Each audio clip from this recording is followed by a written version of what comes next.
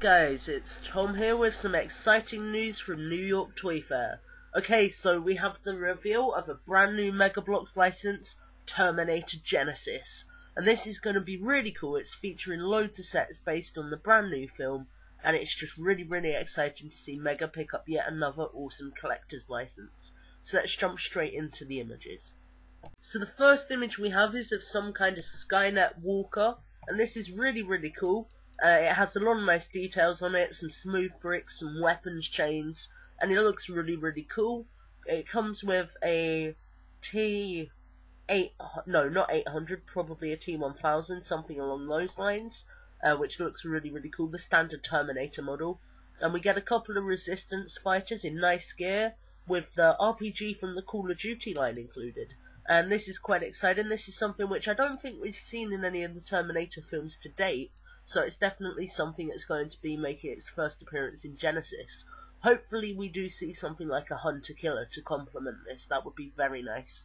The Next thing we have is what appears to be a teleporter which is quite predominant in the trailer for Terminator Genisys, as this is what sends back in time both Arnie and uh, Kyle in, in order to go back and save or kill Sarah Connor, depending on who you look at. So this is quite exciting and it's nice to see a terrain piece in the first wave of the sets, which is always a bonus.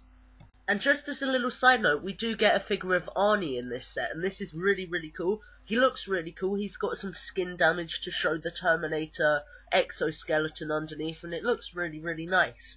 As well as that, you'll note that he does come with his signature shotgun, and it is in fact painted, which is again a nice detail. And you'll note throughout the line that this line appears to use single cast weapons and not modular weapons like the Call of Duty line. I mean, if you take a look at the Rebel sets, we do get some very nice M4 carbines, which I'm quite excited to get a couple of.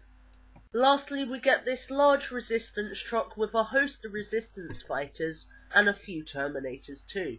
This is really, really nice. The figures look good. Again, a nice variety amongst them. The truck itself looks good, and this is probably just a prototype build, and I'm quite excited to see what kind of role it plays within the new film.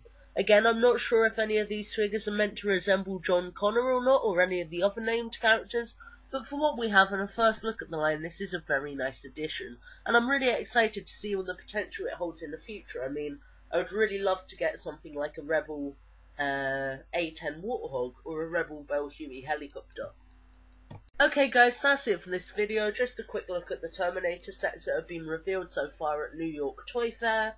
Credit to ToyArk for the images. I'll leave a link in the description where you can go and check out their Mega Bloks gallery.